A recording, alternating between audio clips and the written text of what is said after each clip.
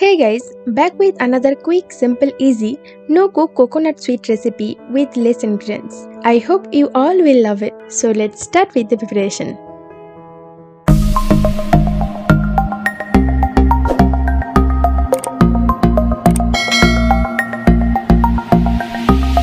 So first in a bowl add 1 cup of milk powder, 1 cup of desiccated coconut. You can also use fresh coconut. If you want the recipe with fresh coconut then comment down below. I will try to upload as soon as possible. Half cup of condensed milk. You can also use homemade condensed milk. The recipe is already uploaded on my channel. Also I will give the link in the description box. Please don't forget to check it out.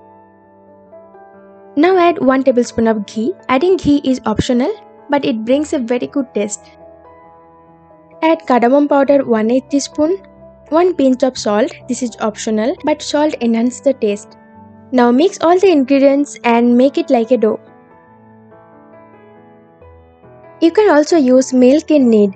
Like now it's become little dry so I'm adding a small amount of milk. So add milk according to your need. Now the sweet dough is ready. To understand, take a small portion of the dough and try to give it a shape. If it's not sticking and you can easily shape it, then it's ready. Now rest it for 5 minutes. After 5 minutes, take 2 plates and apply some ghee on it and divide the dough into portions. Now in one portion of dough, I am adding 1 drop of rose pink food color and strawberry essence 1 8 teaspoon just to add some flavor in it. You can obviously skip this part and add natural food color like kesar and knead it well. Now I'm adding some chopped dry fruits, though it's optional but I prefer to add it because it tastes so good. And now mix all these ingredients and rest it for some time. Then take the dough and give it a cylindrical shape or just roll it as I'm showing in the video. Now take a butter paper and apply some ghee on it.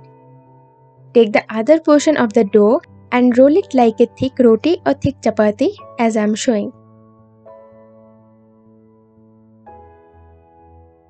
Try to give it a rectangle shape for your easiness. Keep the other dough in the middle section of it. Now cover and roll it as I'm showing in the video.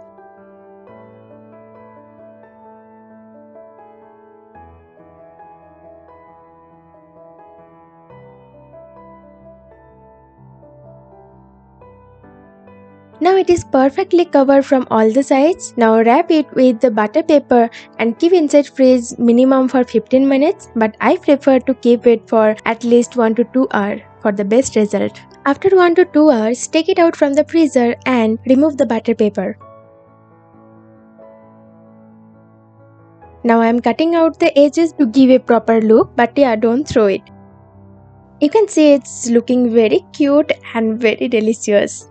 Now cut it in equal portions or as I am showing in the video with a serve knife.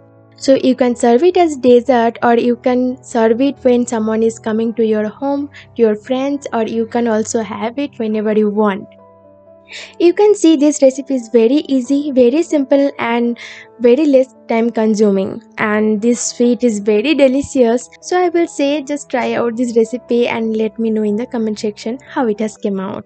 Thank you for watching and if you found this video helpful then don't forget to like, share and subscribe to my channel and don't forget to leave a suggestion below. So see you in my next videos. Bye bye.